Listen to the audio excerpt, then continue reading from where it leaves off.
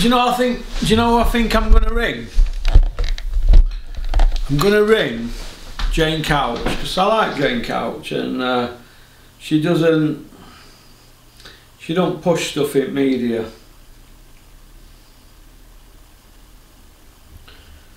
Jane Couch. Uh,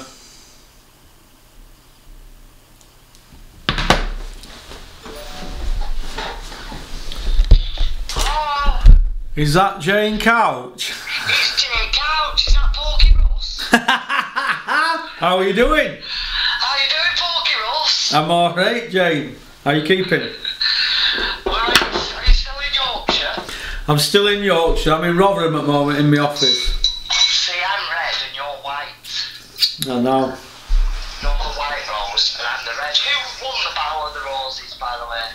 I thought the red rose and the white rose was Lancashire in it. Were the Yeah, roses? look, red, red rose is Lancashire and the white rose is Yorkshire. All right. And then we had a Battle of the Roses and I'm pretty sure Lancashire won, but I don't know. We'll find out if So I've been told, Jane, today on the grapevine around the campfire that they're making a film about you.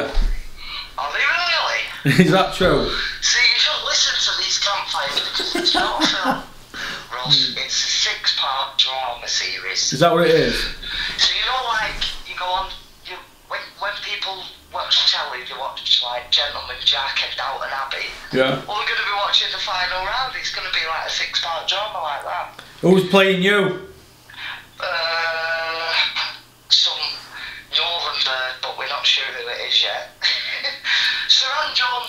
Jones. I was just about to say her because she's from your area. Yeah, yeah, but Suranne's she's in the film and she's the co-producer, and she's playing the lawyer or my mother. She's not playing me. She's because she's the co-producer. Everyone thinks she's playing me, but she'd be good at playing me. She'd be brilliant at playing me because she's northern and she's a bit feisty and a bit cheeky, a bit like me. And um, yeah, she'd be good, but she can't because she's got a co-producer. Is that her who went with Steve McDonald in Corrie, isn't it? Yeah, that's her. Yeah. So I'd like to see her play you actually, because she'd probably get into boxing and she'd probably take it to another level, wouldn't she? Yeah, she'd be good because she's fit anyway, but she can't because of the age. And like I said, she's co-producer on it, so she's got to concentrate on getting on getting it right. Because a lot of these dramas and boxing films, they're, they're not really how how it really was. And, hmm. and this story's such a massive, like, well, it was history. We made history, didn't hmm. we? Hmm. And, and it's such a, a, an important part of you know boxing that it's got to be right. It's just Yeah. got to be right. And there was a few people running for it. The team from Downton Abbey was running for it. Um, and then Lookout Point who do Gentleman Jack, Jack out bigger. But there was a few others in the running. So they- they're obviously um, they're obviously copying onto what a, a great story it's going to be. I'm impressed actually because I've just been looking at your career on BoxRec and you uh, you were the one that pushed the British Boxing Board of Control for a license for women to box, didn't you? So if it weren't for you, there wouldn't be no women boxers, would? There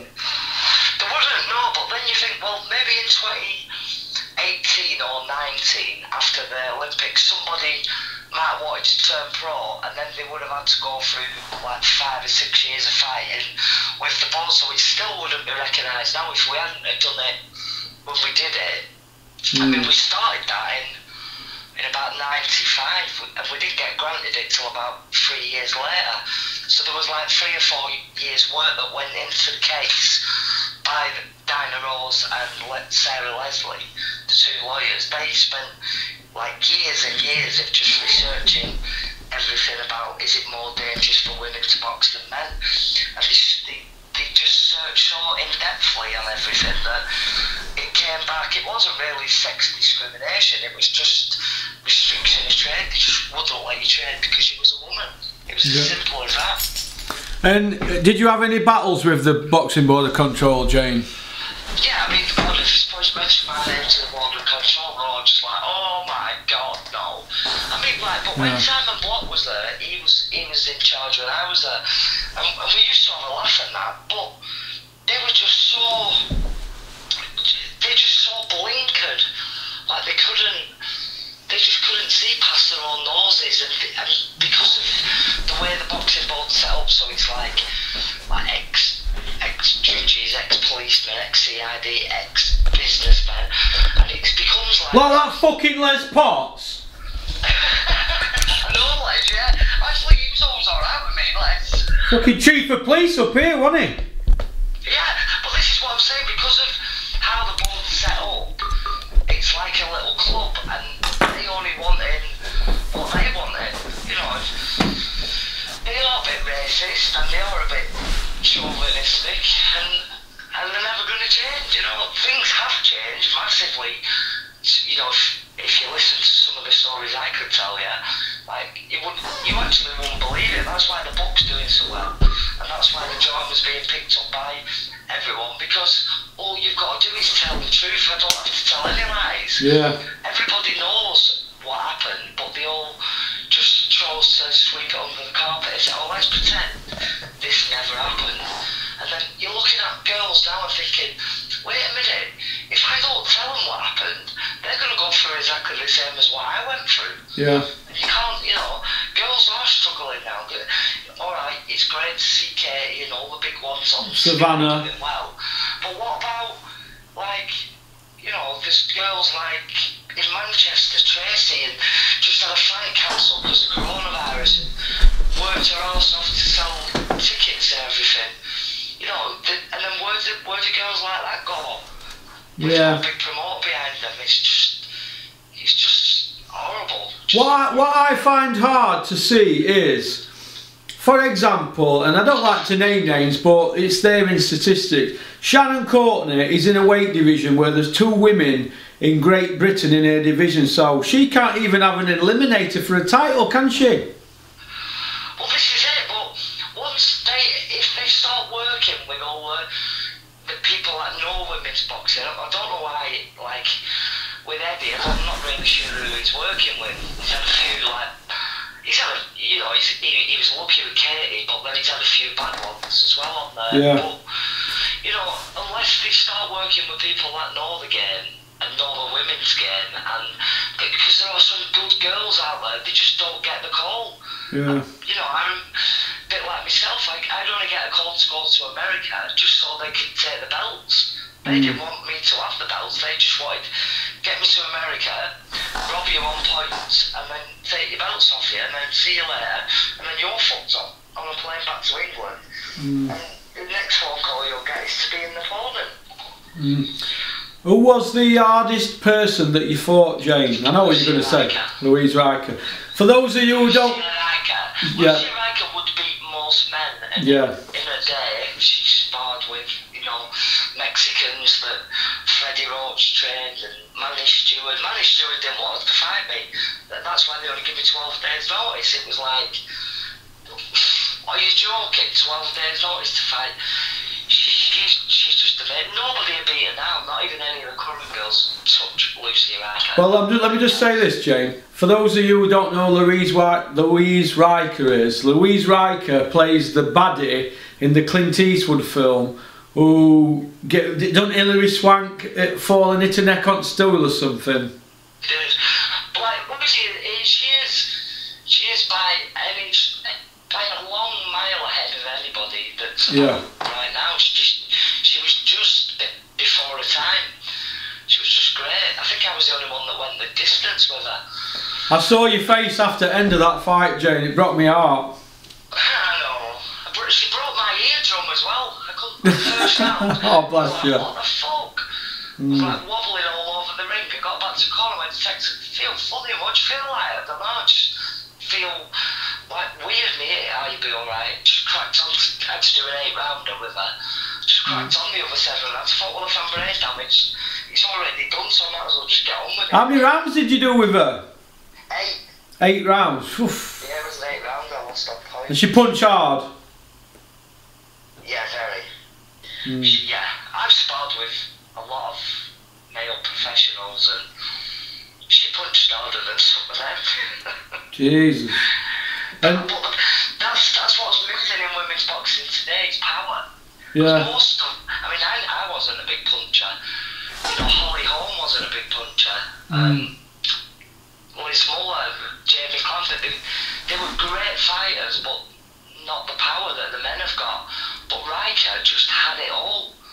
And if you can find a woman now that's got that power, I think that's what'll that's what'll give it that little bit of wow. Like Yeah. They can punch as well because you know Rijker could punch harder than some men.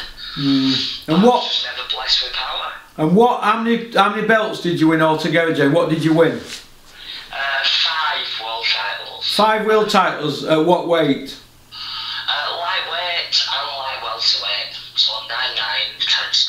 So you never fluctuated in weight then? You were an hard trainer.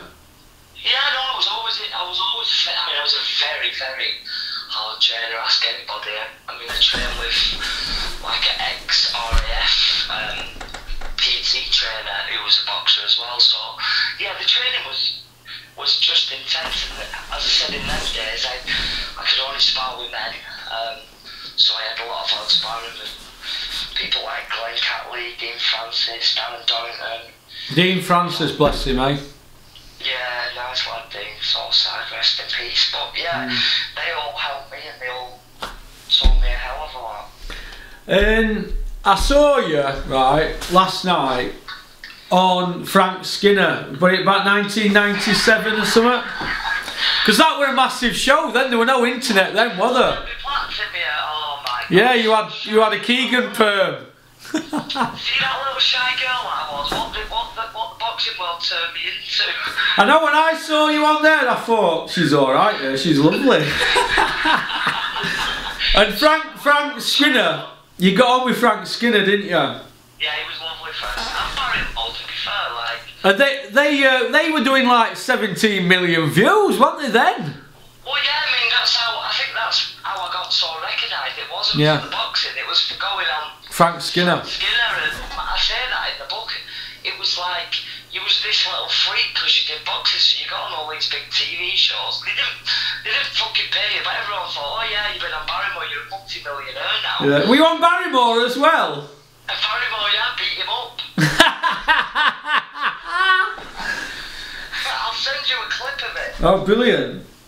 I oh. can't believe it, honestly. So, are you not? Rematch as well. He's just called me out for a rematch. Oh, what Barrymore? Oh, yeah, he's making a comeback, I think. Is it brilliant? And what are you? D- He's like all those boxers making comeback. yeah, yeah, yeah, like Lennox. so, what are you doing now with yourself, Jane? Are you still with Brian? Yeah, I'm still with Brian. Um, in Bristol, we've got, um, well, Brian's got tipper trucks, all that construction industry. Yeah. But yeah, I'm just enjoying life without boxing, really. It's, Yeah. it's different. Well, you see, the thing is, you see, right, because you see, you know, when I started with this five years, obviously I've been a fan all my life, but five years ago when I started with Dennis, I were like, wow. And then once you scratch the surface, it's it isn't really, it's it's not as glamorous as you think, is it? it's all smoke and mirrors, is the boxing hmm. world. There's a lot of promises made, isn't there? It is, it's all smoke and mirrors. I mean, I've, I've mixed with all of them. I've been on the, some of the biggest shows in the world and, and some of the shittiest shows in the world as well. Mm. But they're all the same, and it is all smoke and mirrors. And, and the sad thing is, it's for the boxers. So while you're going through being world champion and getting this and doing that, and they all think that you know, you think everyone's alright, like your friend, but when you retire, you realise, like, it's just a business. You just, you're just a dog, aren't you? Being Yeah. used like a, I don't know, just what happens. But you know, you've just got to see it for what it is, and I just, and you will find nice people, just not that many of them. Yeah, I see. And which what best show you fought on, Jane? Uh, I think it was the Naz undercard. Um, I boxed. He boxed Augie Sanchez, was it? Yeah. Yeah, it was a good little fight that. And um, yeah, I was on the undercard of that. And, and we had, yeah, You fought on a Lennox Lewis card, didn't you, as well? Yeah, I was on Lennox Lewis when he fought for Tommy Klitschko, but the Naz bills were were brilliant because in them days he was like he was just massive, wasn't he? Oh. You knew him. And, and to be on his undercard was just even better. It was brilliant. So yeah, That- Mickey Ward as well. Had a, a really nice time with Mickey Ward in New York. I was on I was on his undercard. Is he a nice guy? Jones Jr. He took my opponent out the night before I fought her, so Who did? he done me if it's Roy Jones Jr. What, he pulled her? Well, yeah, he pulled her the night before. Who were that? Uh, Leah Mellinger. Did you beat her? Um, Leah Mellinger. I don't know if he pulled her, but he took her out for a meal so she was out late. and I was bed asleep. And I thought, that's handy. She's got up. And she looked a bit tired when we got on the ring, so I beat her on points. to beat someone on points when you're the way fighter in Connecticut is nigh on impossible, so I think I must have leathered her every round because she was that knackered after being out with Roy all mm. night. yeah, yeah, I bet she was. So I love Roy Jones Jr. now. yeah. well, we all did, didn't we, in 90s? Undercard, he was one of the biggest names in. He was massive, wasn't he? It was when he fought Montel Griffin in the rematch. I Yeah, yeah, one round. Uh, but yeah, it was brilliant. It was like some great memories, brilliant. But you know, it's just it was so different the way you were treated. You Yeah. know, even even in America where they accepted it better than here, it was still it was still hard. And what's that girl called from America? Is it Tuffman or something? What's her name? I, I forget her name now. What is she a fighter? Yeah, I'm trying to think of this woman's name now. A white boxer who, who fought for years. I, I can't Kale or some a, tough tough firing. I forget her name now, but there's a woman I saw and she'd been fighting for years. She was in her forties. Fighting. still fighting now? Yeah, she was with Gary Shaw at one point. I'm trying to think of her name now. I always used to see she fought Ali, Laila Ali. Uh, I can't think, Ross. Porky fans, send it to me. I forgot her name, but she was a, right, a really, a really good fighter.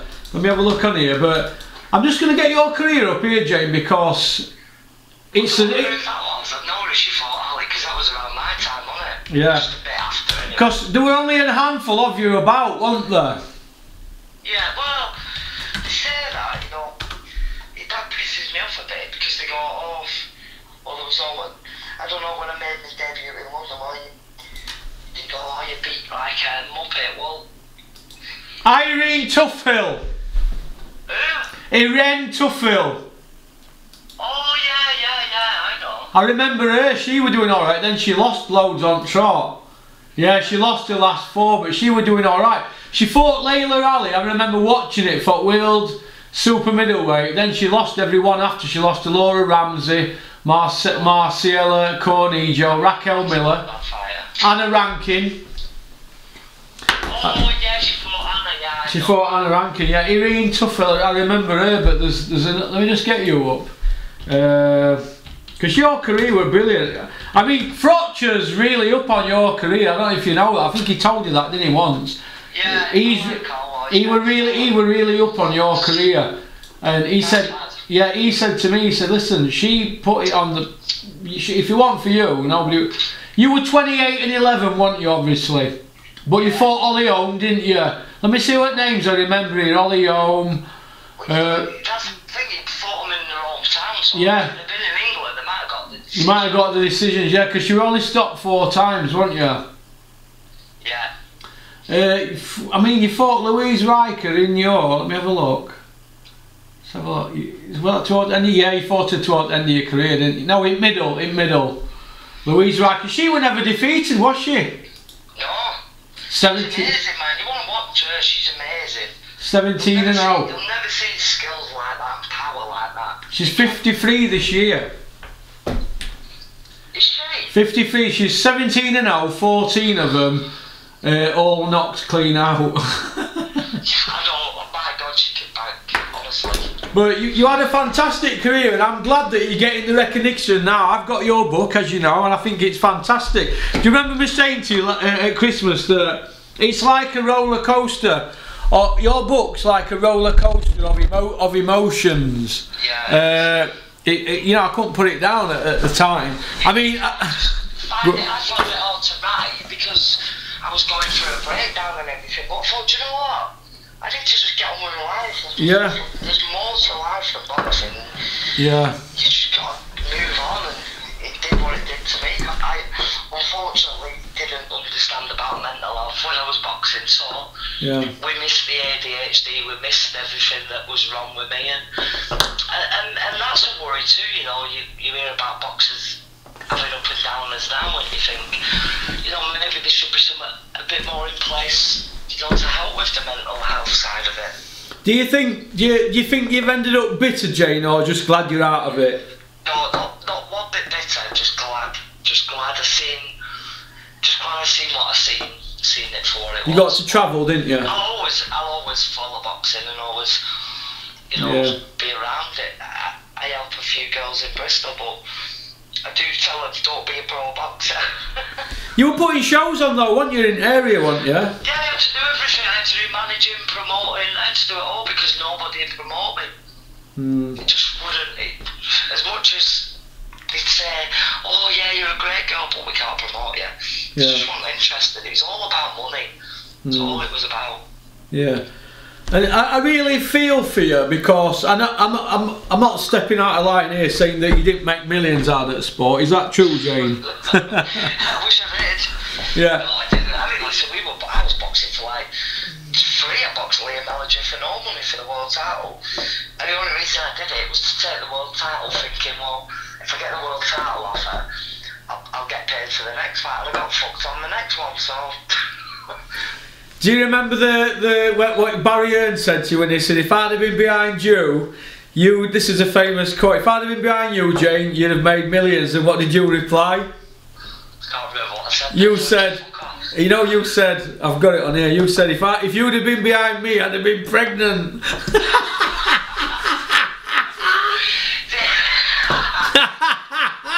That's on IFL. That, that's the ADHD coming out. I can't help it. Hey, I've got the same problem. We're all damaged, aren't we? Oh, but you know what? You just crack on what you're doing. It's like when the videos first started, it was, you know, it, it was just a, such a unique thing, and now everyone's doing it. It's Yeah. just brilliant to see how, how big it's grown, isn't it? Yeah. And do, do you remember when you started iFilm with Rita? Me and Rita, we didn't, we didn't really start. What what happened was, um, we had Ricky Hatton for a show in, in Bristol. Yeah. and, and Ricky, so Ricky, I was doing a promotion here, and I was doing the promotional work for him. And we was having breakfast, and C- Carlo Leach was one of the guests, and he brought Kugan along with him. Mm. So we were just taking the piss, going, "Ah, "All right, Coog, uh, fucking hell, are, are you his bouncer? Because he's big and that." So, Yeah. And he was he was a big lad then as well. Mm. So we, we just assumed that he was Carlton's bouncer. Carlton was a right wind up merchant, so just went along with it. and then Ray Allen was looking for someone to go to uh, Vegas for the Pacquiao fight for, to look after Ricky.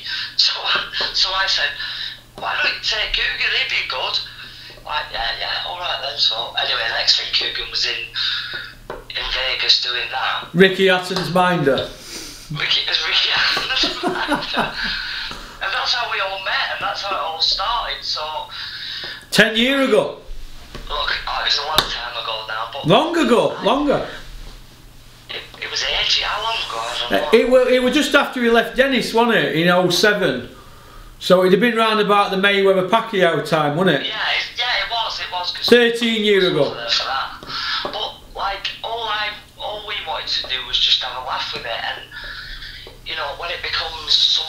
Else, like, it- like they just had a different agenda to what, to what I wanted to do, and I helped them as much as I could. I introduced them to everyone that in the boxing world, and and, and good luck to them. They're doing a great job. Yeah. And it's great to see all the others coming, you know, doing the same as them because it's it's easy to do because in the boxing world, it's like it's like their own little community. Yeah. What they don't realise is when they come out of that world and they go to say, I don't know, they go just go and have lunch in Queen Square in Bristol. Nobody would know who they were. Yeah.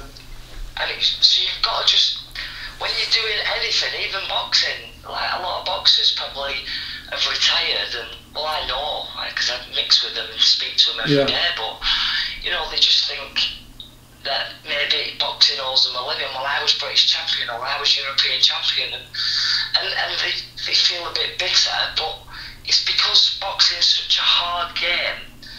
You've, you've just got to take it for what it is. Don't believe the bullshit, and then get in, try and earn a bit of money, and get out. Yeah. But ninety percent of boxers won't earn a penny. But you know, stop the smoke and mirrors and just tell tell the fucking truth. That's what I do. Mm, Do you think there's a lot of bullshit that goes on in boxing, James, from promoters? Yeah, well, Glyn Leach, Boxing Monthly editor, was a very good friend of mine, and right from the start, me starting boxing when nobody wanted to know Mm. anything about me, um, Yeah. Glenn always backed me, and he said to me, "Boy, at a show, he went, we're just swimming in the sea of bullshit," and I never forgot it, never forgot it. Well, you're right because I see it now, and it ain't, it ain't what it said on brochure. I remember when I first met Dennis, and he was he was saying, "Yeah, it's this, it's that." He was telling me all these stories, and I was like, "Wow."